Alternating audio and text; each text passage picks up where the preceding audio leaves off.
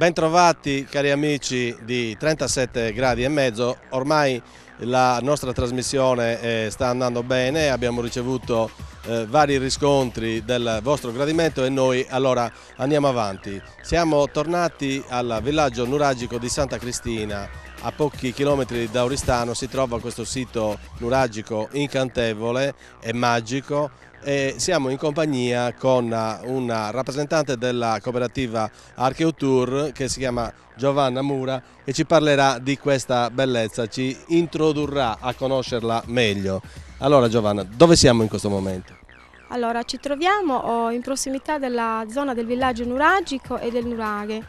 È una zona che eh, in parte aspetta ancora di essere eh, messa in luce perché eh, gli scavi sono oh, abbastanza recentissimi eh, risalgono a circa dieci anni fa alla prima esplorazione, in precedenza vennero fatti solo diciamo, saggi di scavo. Eh, diciamo che eh, ancora abbiamo quindi pochi dati, Lo, gli scavi hanno riportato alla luce proprio davanti al nuraghe eh, un insieme di sepolture eh, che cronologicamente diciamo, datiamo intorno al IV-V secolo d.C. Ehm, da, da, quei pochi dati che sappiamo dall'equipe di scavo sembrerebbe che probabilmente si, tratta, si trattava diciamo, di, di, sepolture abbastanza importanti dato il tipo di, eh, di materiale, di corredi che eh, le sepolture hanno restituito.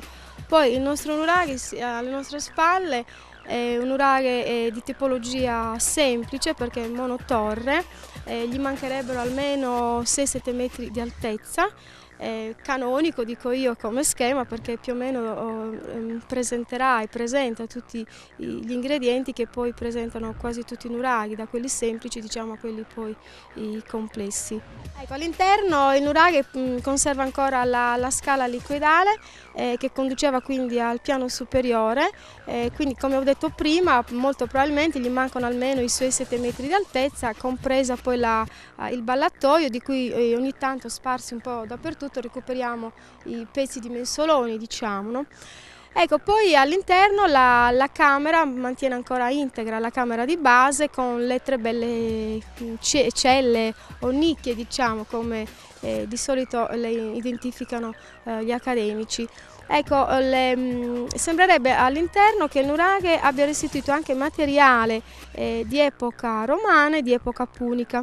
Eh, molto probabilmente in epoca romana il nuraghe venne utilizzato diciamo, come luogo di sepoltura, mentre in epoca punica probabilmente venne usato come luogo di culto, perché sembra che abbia restituito eh, i cosiddetti bruciaprofumi o cheronofori, appunto, dove c'era l'effigie di Demetra e poi alcune... Demetra chi era? Demetra era la divinità punica, la dea dell'agricoltura, la dea delle messi, la stessa dea nuragica, cioè la dea madre nuragica potremmo definirla. No?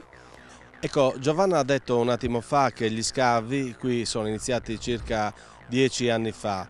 Adesso oh, Giovanna, che cosa è stato rinvenuto? Esiste un museo? Dove è stato collocato il materiale che è stato trovato in questo sito? Una buona parte del materiale è indubbiamente depositata nel nostro museo oh, archeologico etnografico a Paoli Latino, il museo Palazzo. Dove si trova appunto? A Paoli Latino, dentro proprio il centro abitato, ehm, è un bel palazzo oh, del 1800 di proprietà di un uomo ricco del, del paese, un notaio, un grande proprietario terriero che le amministrazioni comunali abbastanza lungimiranti e brave posso dire eh, pensarono di recuperare questo bel palazzo e di destinarlo a museo archeologico. Inizialmente il museo non aveva niente di reperti per cui è stato aperto come etnografico però finalmente quando ci furono questi scavi è diventato proprio deposito oh, dei reperti archeologici solo che purtroppo ancora provvisoriamente sono stati in parte catalogati e si trovano ancora eh, depositati. In poche parole stanno aspettando di essere eh, che il, il, comune o chi, gli enti competenti trovino i fondi per poter eh, mettere a disposizione diciamo, del pubblico perché sono ancora uh, chiusi insomma, al pubblico, però sono già nel nostro, nel nostro museo, ci sono casse e casse proprio di... Eh, Quindi non, sono, non, si possono eh, ammirare ancora, non sono esposti? Non sono esposti al pubblico, no, non sono esposti al pubblico perché manca ancora un, un completamento di, museo, di progetto di allestimento, ovviamente bisogna anche trovare i fondi per anche assemblare assemblare, diciamo, cioè per salvare i pezzi che potrebbero essere già esposti al pubblico, diciamo.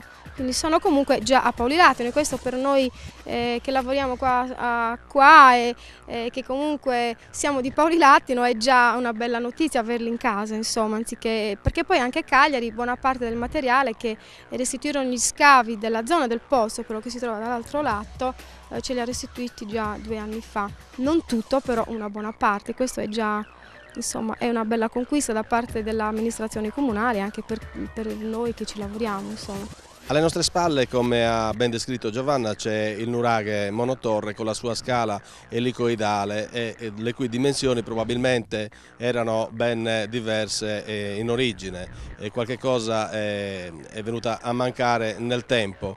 Qui eh, la, la, parte antecedente da cui vi stiamo parlando probabilmente eh, riguarda tutto um, una, una, serie di, di eh, un agglomerato che è successivo appunto, ma alla nostra sinistra c'è un'altra costruzione che sembra abbastanza integra. Di che cosa si tratta Giovanna? Che cosa era? Si tratta di un edificio oh, che ha una forma allungata, eh, nella planimetria ricorda moltissimo la, la forma delle tombe dei giganti eh, infatti, manca l'esedra però. Manca l'esedra, manca la stele, ma anche la tecnica muraria si differenzia da quella che è la muratura delle tombe di giganti.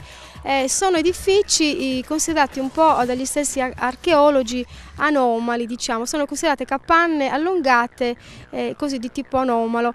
Eh, sulla destinazione d'uso purtroppo non ci si può ancora pronunciare, prima di tutto perché non sono stati ancora oggetto di ricerca e di scavo.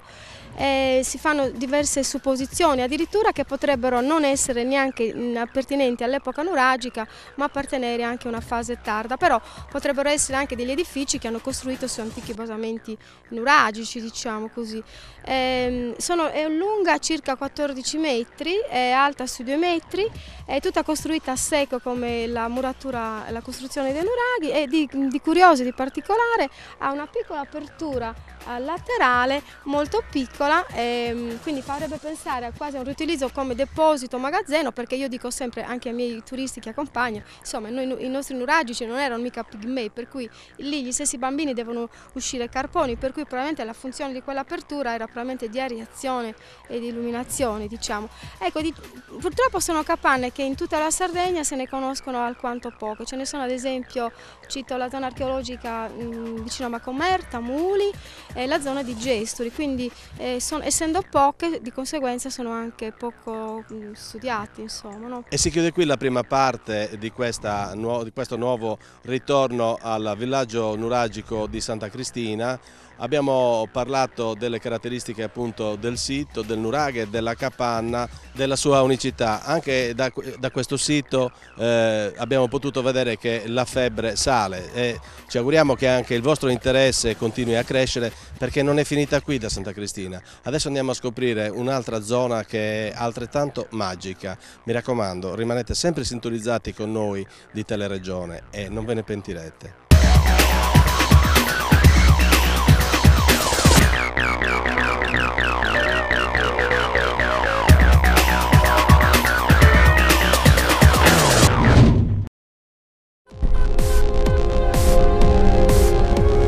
Teleregione Sardegna seleziona personale in tutta l'isola. La nostra emittente ricerca personale qualificato e automunito per la propria rete vendita. Teleregione Sardegna seleziona personale in tutta l'isola. Offriamo un fisso e portafoglio clienti. Contattaci info chiocciola teleregionesardegna.com Teleregione Sardegna, la TV in tutta l'isola, ha bisogno di te.